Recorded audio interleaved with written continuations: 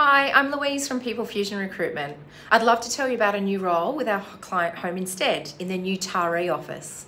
They have a really supportive culture and with an emphasis on constant learning as well as competitive salaries.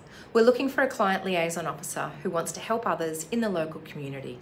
The role includes taking incoming client inquiries and helping to determine their general in-home care needs, assisting them with their home care packages, setting appointments for care consultants to visit them in their homes, following up the pipeline of prospects and leads, and you'll build and nurture key referral relationships with hospital and respite care staff.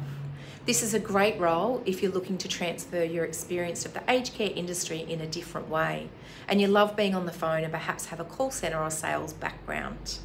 If you have strong engagement skills and the ability to build rapport over the phone, and you have an eye for detail with high level admin and computing skills.